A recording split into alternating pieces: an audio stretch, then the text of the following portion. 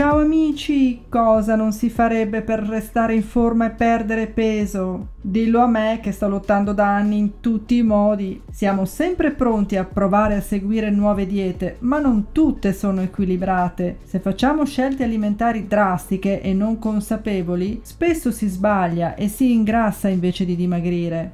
La maggior parte dei consigli e dei trucchetti su web e riviste sono piene di falsi miti, Ecco 5 falsi miti da evitare per restare davvero in forma in modo sano. Se vi piace l'idea mettete subito un bel mi piace a questo video, tanti mi piace, tanti nuovi video. 1. Cibi grassi e calorici. Quando viene fame durante la dieta è dura, vero?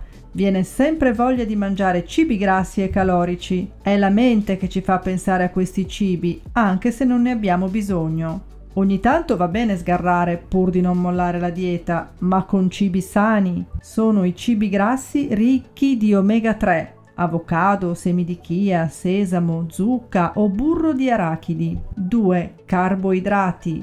Sono il carburante del corpo, danno energia.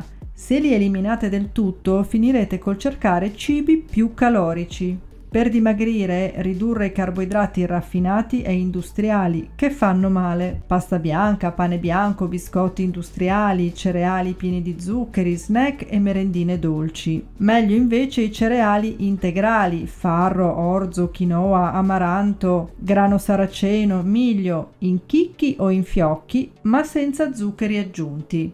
3. Bevande light. Non fatevi ingannare dalle bevande dietetiche prive di calorie. Sono piene di dolcificanti artificiali che aumentano il desiderio di cibo. Meglio scegliere qualcosa di appagante ma sano, uno smoothie, una tisana, un estratto o un tè verde. Ultimi due consigli. Iscrivetevi al canale e attivate la campanella delle notifiche. Così YouTube vi avvisa quando pubblico un nuovo video con i miei consigli trendy e sani e abbonatevi al canale per sostenere questo grande progetto di divulgazione. 4. Frullati proteici. I frullati proteici fanno perdere peso solo se si usano per sostituire il pasto in parte o del tutto. Attenzione invece quando non sostituiscono il pasto se li aggiungiamo alla dieta, i frullati aumentano le calorie e l'apporto di proteine, quindi vanno assunti con consapevolezza, mi raccomando. Come sempre è ancora meglio se vengono abbinati alla giusta attività fisica. 5. Mangiare dopo le 20. Non è vero che mangiare dopo l'ora di cena fa ingrassare, dipende da cosa mangiamo, non quando lo mangiamo. Se per forza dovete mangiare tardi, non ingrasserete solo per questo. L'importante è scegliere cibi sani e naturali. La scelta degli alimenti è sempre ciò che fa la differenza. Ora che conoscete i più comuni falsi miti, potrete regolarvi di conseguenza. Condividete questo video, il problema di ingrassare invece di dimagrire riguarda tantissime persone.